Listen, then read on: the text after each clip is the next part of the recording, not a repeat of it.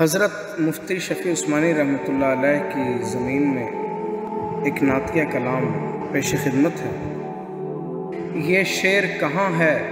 ارے اندوہ ہے، رم ہے۔ بس نالا سرائی ہے میری جس میں ردھم ہے۔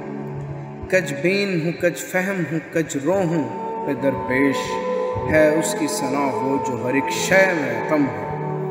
یہ میرے قبیلے سے ہے، یہ ہے میرا شاعر۔